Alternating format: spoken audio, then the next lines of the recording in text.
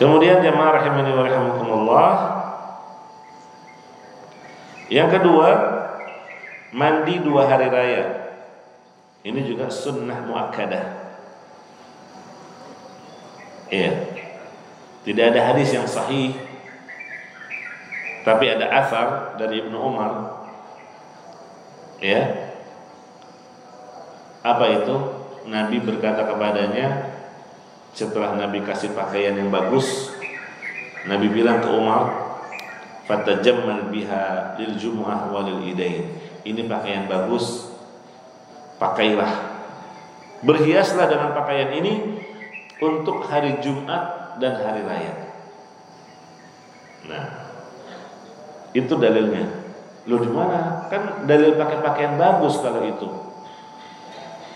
Dalil mandinya di mana afdolnya mandi. Iyalah ngapain pakai pakaian bagus kalau badannya bau? Ya bisa nggak nutupin baunya? Ya nggak bisa. Ya mau pakai pakaian bagus tapi bangun tidur kelihatan pucat apa begitu ya nggak nggak indah lah. Akan nampak indah kapan? Kalau kamu sudah bebersih dulu mandi dulu hilangkan kotoran hilangkan bau-bau ya. Nah, baru pakai pakaian bagus begitu. Di situ sisi pendalilannya ya. Jadi termasuk berhias itu di hari Jumat dan hari raya. Dianjurkan berhias. Dan termasuk berhias apa? Mandi. Mandi. Ya. Percuma kalau pakai pakaian bagus tapi nggak mandi. Ya. Nah jelas?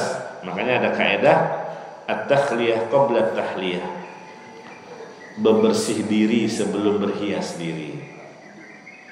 Sama lah kayak kita mau menghias pagar yang karatan supaya hasilnya maksimal.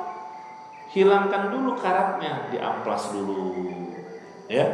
Baru dicat. Bagus hasilnya.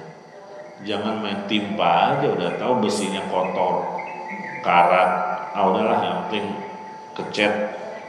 Ya jelek hasilnya. Nggak indah. Dan nggak awet. Gampang lotok. Ya kan? Kemudian mandi karena memandikan jenazah. Ini berdasarkan hadis Abu Hurairah tapi hadisnya lemah ya. Hadisnya lemah. Bahkan ada Ibnu Abbas radhiyallahu anhu menukil dari Nabi sallallahu alaihi wasallam laisa alaikum fi ghusli mayyitikum ghuslun. Enggak ada kewajiban mandi setelah memandikan jenazah saudara kalian. Fa inna mayyitakum laisa binajas. Mayat saudara kalian itu enggak najis. Ya kan? Muslim itu masih hidup dan mayatnya enggak najis. Iya. Ini Nabi ucapkan ketika papasan sama salah seorang sahabat Abu Hurairah dan Abu Hurairah junub belum mandi junubah, belum mandi janabah.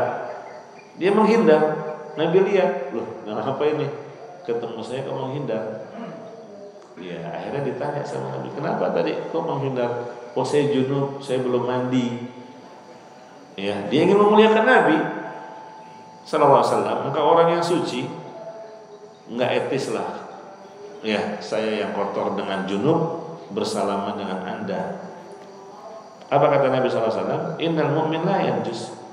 Orang beriman itu nggak najis. Ya. Jadi yang najis itu maknawinya, ya, bukan fisiknya.